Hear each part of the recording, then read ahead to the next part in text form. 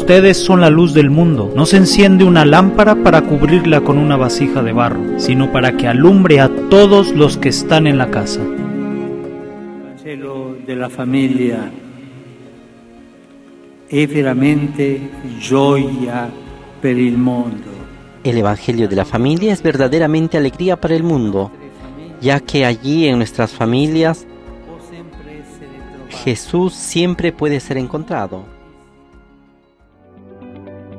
Te invitamos a la procesión por la familia y la vida. Manifestemos nuestra fe juntos, empuñando el Santo Rosario y adorando a nuestro Señor en su presencia real en la Eucaristía por las calles de la ciudad.